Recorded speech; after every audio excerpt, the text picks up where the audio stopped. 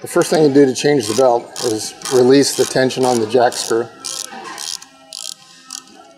So you want to jack that screw out until the motor mounting plate is completely released and the belts are loose. The first thing that you're going to want to do is you're going to want to take this lap joint screw out.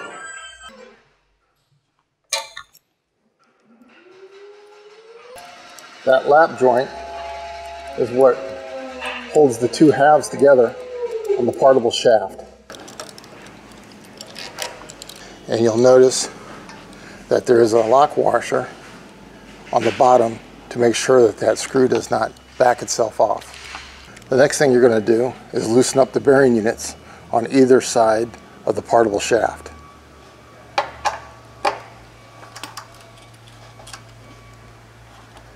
And again, you want to be careful so that you don't back the screw all the way out and you'll be able to tell that the T-nut in there is in the position so it can slide right out of the slot. Usually takes about two and a half turns to where that's loose. And then you'll do the same thing on this side.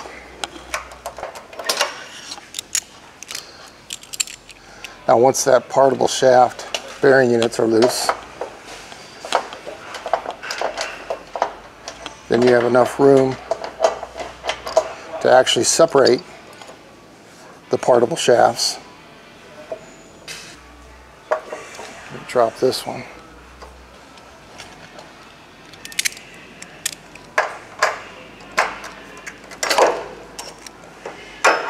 Okay. So now you have enough room to actually slip the pulleys off of the or slip the belts off the pulleys. So now you can take the belts off and easily replace the new belts. You'll notice that you've got enough play in the bearing units on either end to give you the room that you need to slip these off. So I'll take these belts off. I'll put my new belts back on. And then I can bring this partable shaft assembly back together.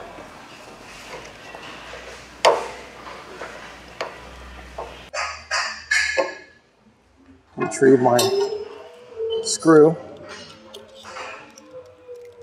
and screw that back into place.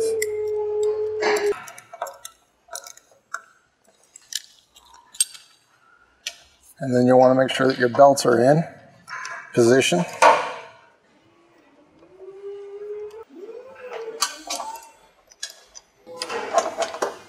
And now you want to put your bearing units back in place. Again, using the same technique. You back the screw out slightly, and then push up in and twist.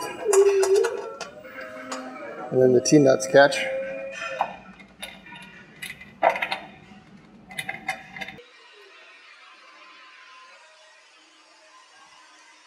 And then you'll tighten all of your bearing unit screws.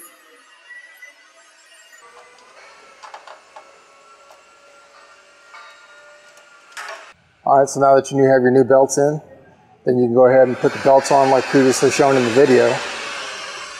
And that's all it, uh, all it takes for a belt change.